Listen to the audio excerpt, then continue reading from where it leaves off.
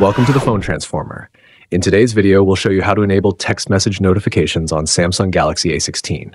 Let's get started. Step 1. First, open the Settings app on your Samsung Galaxy A16. You can find it on your home screen or in the app drawer. Step 2.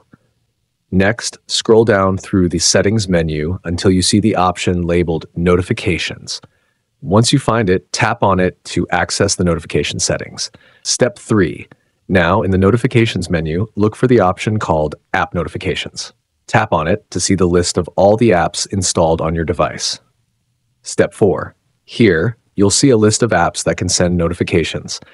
You can either scroll through the list or tap on the search bar at the top and type Messages to find the Messages app quickly. Step 5. Once you find the Messages app in the list, check if the notification toggle is disabled. If it is, simply tap on the toggle button to turn it on.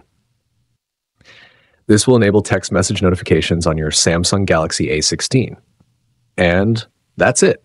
You have successfully enabled text message notifications on your device. Now, whenever you receive a new text message, you'll get a notification instantly. Thanks for watching, and please subscribe to the channel.